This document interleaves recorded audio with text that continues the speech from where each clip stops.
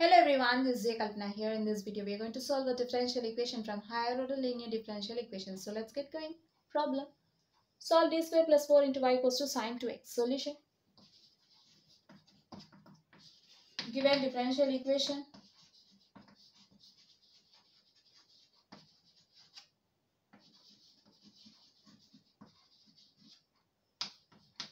d square plus 4 into y equals to sine 2x. Find order and degree of the given differential equation.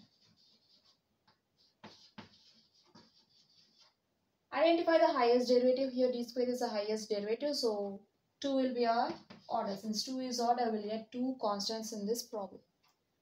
And the highest power of the highest derivative is 1. So 1 will be the degree. Degree is the highest power of the highest derivative. Fine. Or just write this equation as d square y plus 4y equals to sine 2x. We know the differential operator d equals to d by dx. Then d square can be written as d square by dx square. Right? Now we'll write d square y as d square y by dx square plus 4y equals to sine 2x. Now identify the highest derivative here. d square y by dx square is the highest derivative, so order will be 2 and the highest power of the highest derivative is our degree. Degree is 1, right?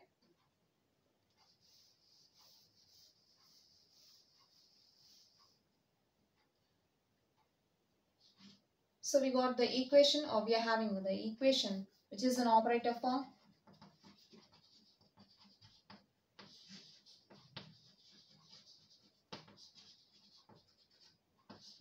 f of d into y equals to q where f of d equals to d square plus 4 and q equals to sine 2x. Now we need to find the general solution to the given non-homogeneous equation using y equals to yc plus yp. Here yc is a complementary function, yp is a particular integral. We'll find yc using the roots of the auxiliary equation of the homogeneous equation of the given non-homogeneous equation. Simply take RHS to 0, then we'll get f of d into y equals to 0, which is the homogeneous equation of the non-homogeneous equation. And we'll find yp using 1 by f of d into q. So firstly, let's find the complementary function using the auxiliary equation. The auxiliary equation of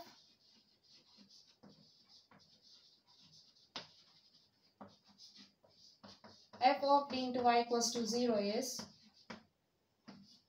f of m equals to 0 where f of m equals to we have f of d equals to d square plus 4 for m for d equals to m we'll have f of m equals to m square plus 4 now our auxiliary equation becomes m square plus 4 equals to 0 now we can find roots in two ways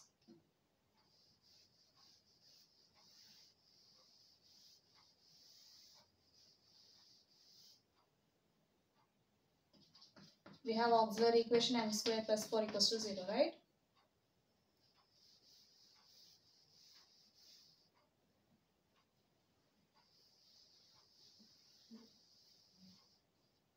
Now, just write this as m square equals to minus 4. Then m equals to plus or minus square root of minus 4. Write square root of minus 4 as minus of sorry square root of minus 1 into 4 and you can split this as minus 1 into square root of minus 1 into square root of 4 we know that square root of minus 1 equals to i and square root of 4 equals to 2 then we can write this as square root of minus 1 can be replaced by i and square root of 4 can be replaced by 2 which is equals to plus or minus 2i right? Now let's see another method.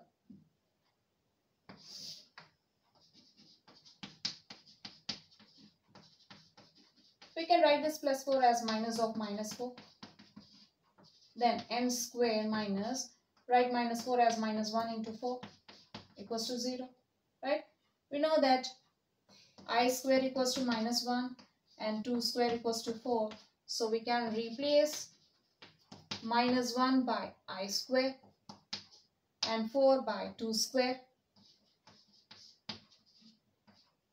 Now let's write i square into 2 square as 2i whole square. This is the a square minus b square form. So you can write this as a plus b into a minus b. Now equate each factor to 0. If m plus 2i okay now from m plus 2i equals to 0 we'll get m equals to minus 2i and from m minus 2i equals to 0 we'll get m equals to 2i right then m equals to minus 2i and plus 2i or m equals to plus or minus 2i.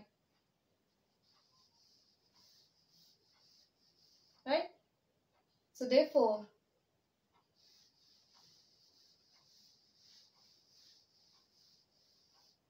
m equals to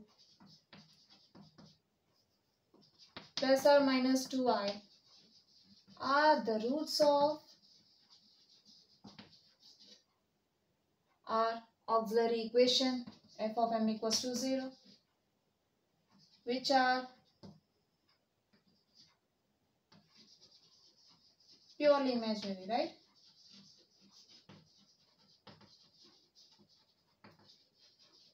Or complex conjugate.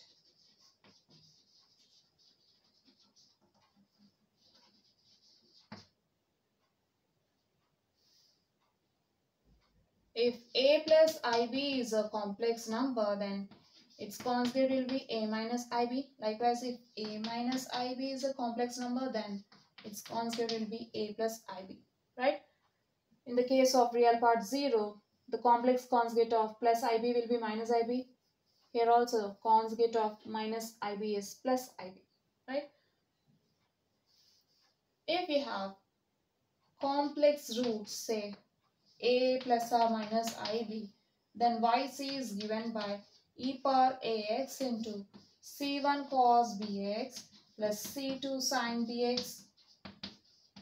In the case of real part 0, we'll get e power 0 into x of c1 cos bx plus c2 sin bx. Then we'll get e power 0 into c1 cos bx plus c2 sin bx right? Since e power 0 is 1, then we'll get 1 into c1 cos bx plus c2 sin bx.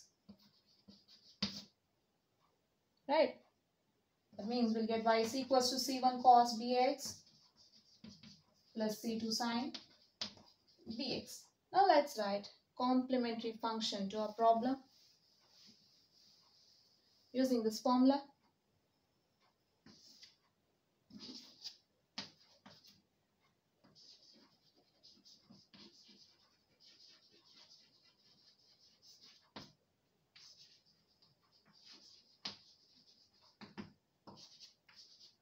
Yc equals to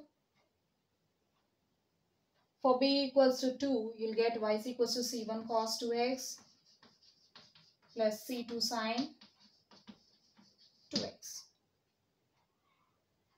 Now let's find particular integral.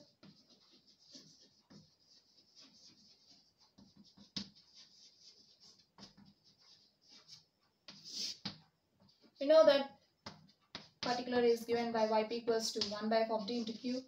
For f of d, d square plus 4 into q sine 2x. So this is of 1 by f of d into sine ax form. Now for a equals to 2, we'll find d square which is given by minus a square. For a equals to 2, you'll get minus 2 square equals to minus 4.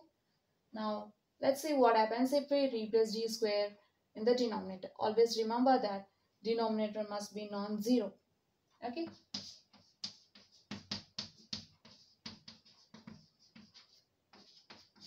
Replace d square by minus 4 you will get minus 4 plus 4 into sine 2x is equals to 1 by 0 into sine 2x 1 by 0 is undefined.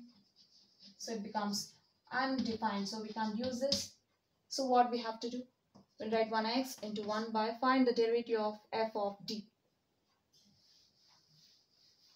If f of d equals to d square plus 4 then f dash of d will be derivative of d square is 2d plus derivative of constant is 0 which is equals to 2d right? You'll get 2d into sine 2x again you can write this as x by 2 into 1 by d into sine 2x here 1 by d is a integral operator or we can say it as call it as inverse of differential operator find the integral of sine 2x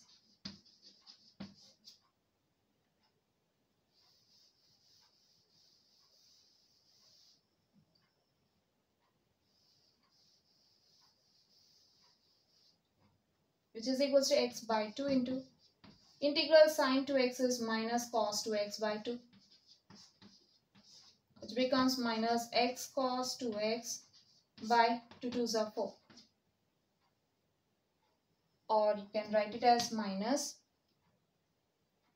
x by 4 into cos 2x. Now coming to general solution. The general solution is given by y equals to yc plus yp. Then y equals to we have yc c1 cos 2x plus c2 sine 2x and yp minus of x by 4 into cos 2x. This completes the problem. See, we got two constants. Order is 2, so we'll get two constants. So we have seen a problem from higher order linear differential equations in this video. Hope you'll understand. We'll see you in the next video. Until then, bye-bye.